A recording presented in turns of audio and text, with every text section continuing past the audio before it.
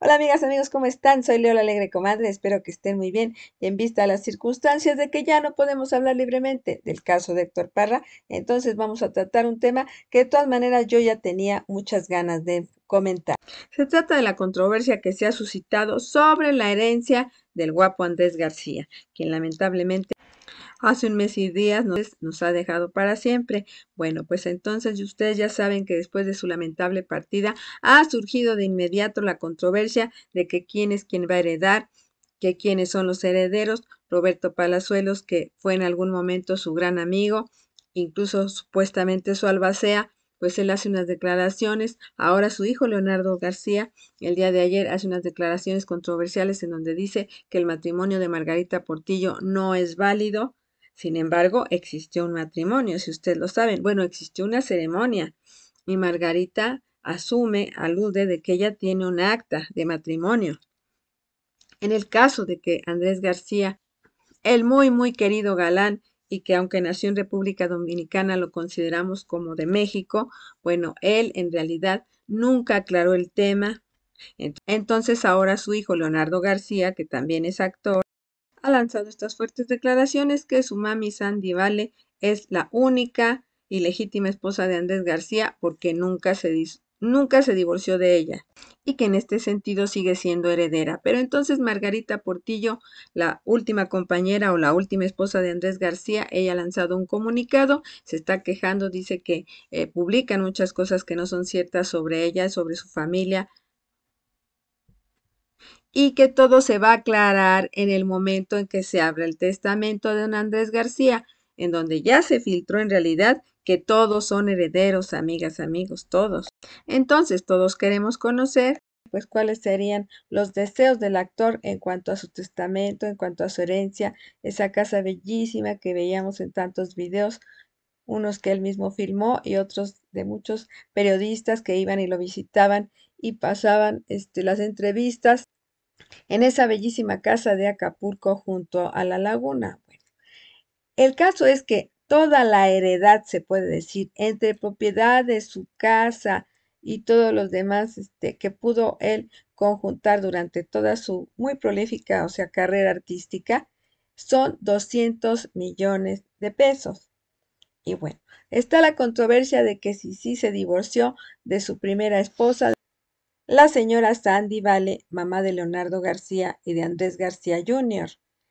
Entonces siempre ha estado la controversia de que si sí se divorció Andrés García y que las otras veces, o que las otras veces en que se casó lo hizo pues cometiendo una bigamia, ¿verdad? O sea que no podría ser que él tuviera dos matrimonios a la vez, sin embargo, pues también se casó con Sonia Infante y en realidad pues no hubo reclamo de nadie, incluso ellos hasta se separaron, después también decían que se habían divorciado, pero entonces este matrimonio tampoco habría sido válido. Por ejemplo, con la mamá de su hija Andrea García, con la muy guapa María Fernanda, no hubo ningún papel, no se casó formalmente. Entonces ahí en ese caso no habría problema. Pero vamos a hablar en específico de Margarita Portillo, su, su actual viuda o su última pareja formal, su esposa, porque ella refiere que sí hubo un matrimonio hay artistas que estuvieron presentes y que revelan que fue un juez y que hubo una acta, que ellos se casaron formalmente. Margarita Portillo con el galán Andrés García. Entonces ahora viene la controversia, el mismo Roberto Palazuelos, que fue como un hijo en un tiempo para Andrés García porque terminaron su amistad muy mal, también él ha salido a decir que se va a arreglar todo lo de la herencia porque este último matrimonio de Margarita no sería legal supuestamente. Pero hay una cosa, amigas, amigos, si Margarita vivió, convivió con Andrés García desde 1997 o desde el matrimonio que celebraron allí en Acapulco, ya son más de 10 años. Y ella tiene como su pareja, como su compañera. En este caso, bueno, pues voy a decir la palabra, como su concubina, según lo, lo refiere la, la legalidad, ella tiene todos los derechos o casi, casi todos los derechos para, en primer lugar, para pelear, que Margarita Portillo no quiere pelear, porque hay un testamento, pero ella, en una, en una cuestión de hecho, es igual que fuera una esposa, amigas, amigos.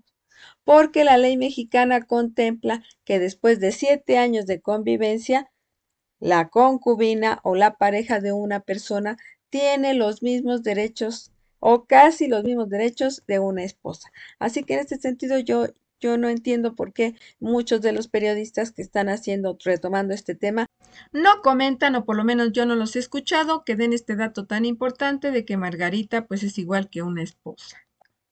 Este video lo hago para retomar ese punto que es muy importante, que Margarita Portillo tiene todos los derechos de una esposa. El hecho de que a lo mejor vayan a demostrar que su matrimonio no es válido no le quita los más de 10 años o creo que 20 años de convivencia con el señor Andrés García que le dan una autoridad pues casi casi igual, creo que un punto menos nada más de lo que fuera legalmente una esposa. Así que Margarita tiene todos los derechos y esto también hay que comentarlo. Y también les comparto que se filtró porque Andrés García se lo platicó a uno de sus amigos, es que todos están heredados, sus hijos, Margarita, el hijo de Margarita y Sandy también.